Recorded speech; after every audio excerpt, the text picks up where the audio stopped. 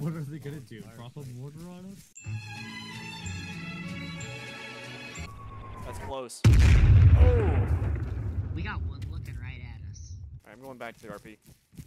Bang bang. Got you bitches. That's a war crime. Guards! Guards! Guards! Guards, that's the compound that shot with the fucking mortar. Oh no. Oh god.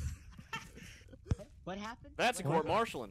That's a war crime. Dude. So are we both court-martialed now?